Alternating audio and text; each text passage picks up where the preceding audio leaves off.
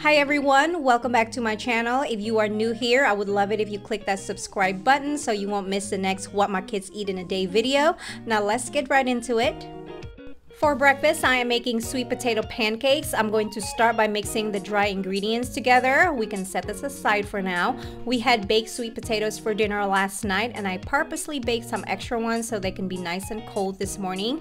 And now I'm just going to use a hand mixer to mash it until it is relatively smooth. To that, I'm going to add two eggs, some vanilla extract, buttermilk, and melted butter. Now we're going to mix it again and pour the wet ingredients into the dry and gently fold Try not to overmix, small lumps are okay, and set this aside for about 10 minutes.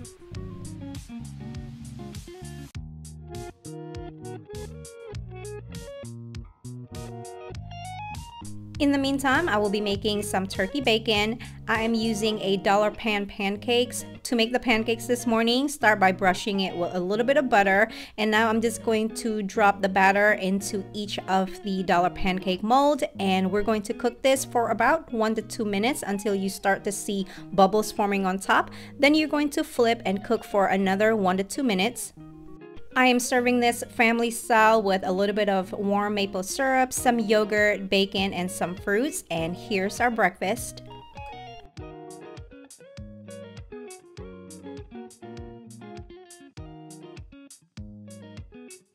For their smoothies, I am adding some milk, leftover yogurt from breakfast, half a banana, one cup each of frozen pineapple and blueberries, and a half a cup of frozen cauliflower. Then I'm going to just blend this until smooth.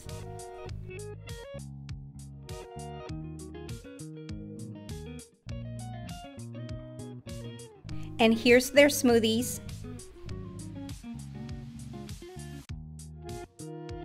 We just got back from the market and I'm just going to make something super quick because it's kind of late and my kids are hungry. I'm going to make some frozen fries in the oven and I'm also going to make some asparagus in the air fryer. I'm just going to season it with a little bit of oil, some salt, pepper, and some garlic parsley. And we're going to cook this in the air fryer at 375 for about 7 to 8 minutes.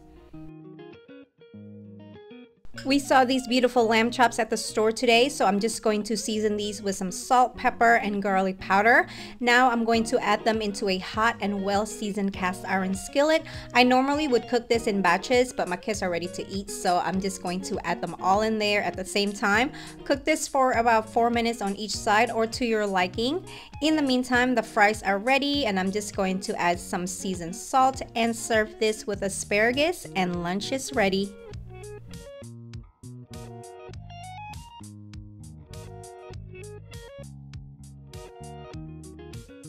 For dinner, I'm going to start by cooking some pasta shells and in the meantime, I'm going to dice some bell peppers. I already have some chopped onion and now I'm going to mince some garlic. Add a little bit of oil and brown the ground turkey, breaking it up as I go until it is no longer pink. And now we're going to add the onion, bell peppers, and garlic. Cook this for about four minutes and then we're going to add the seasoning and cook for another minute, making sure that it coats the meat and veggie mixture. And now we're going to add the broth, tomato sauce, and salsa. Give it a stir and let this reduce a bit. Be sure to give this a taste and adjust the seasoning if need be. Now we're going to add the pasta and cheese and please add as much cheese as you like. Stir until the cheese has melted, adding more broth if necessary.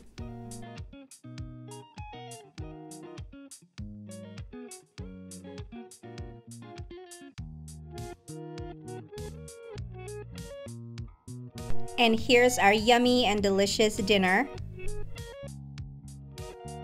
For dessert, I'm going to start by draining the juice from a can of sliced peaches. Fresh is always best, but this will do for now.